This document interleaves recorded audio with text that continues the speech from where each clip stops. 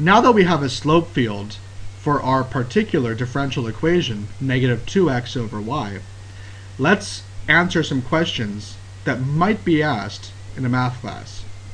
Let y equals f of x be the particular solution to the differential equation with the initial condition f of 1 equals negative 1. Write an equation for the line tangent to the graph of f at 1 comma negative 1 and use it to approximate f of 1.1. When we talk about a particular solution to the differential equation, we're looking at some function y equals f of x.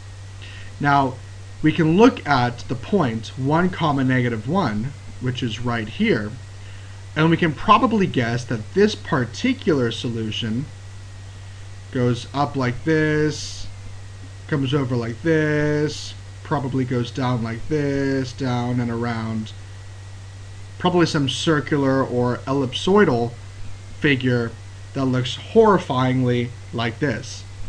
So there is some tangent line at 1 comma negative 1. Moreover, the cool thing about a slope field is that we actually have the slope of our tangent line given to us by our slope field.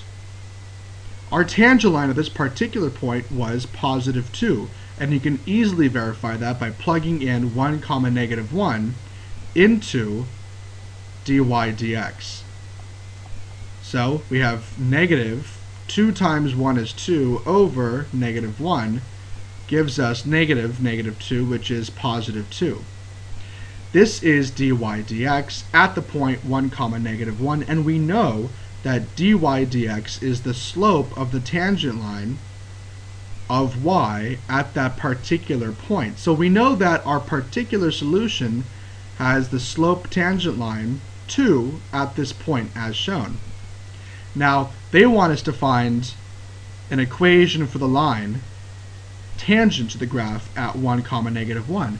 Well, there are two things that we need for a tangent line. Number one, a point. Number two, a slope. They gave us the point. The point is the particular solution 1 comma negative 1. And the slope we just found is positive 2. We could have also verified that by just looking at our slope field. And so we can use point slope form to find the equation of this line. So we have y minus y1 equals m times x minus x1. Now for the second part.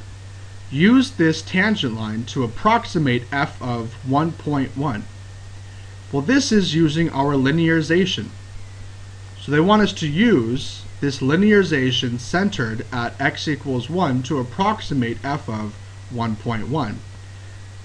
We have L of x, because we're going to change y to be our linearization, is equal to 2 times x minus 1, and we'll move this plus 1 over, there we are.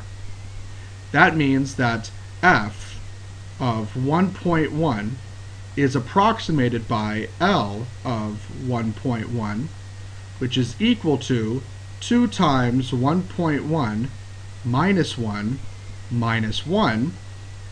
1.1 minus 1 is 0.1 times 2 is 0.2 minus 1 is negative 0.8. So here we have approximated f of 1.1 by using a linearization centered at x equals 1 that we obtained just by looking at our slope field.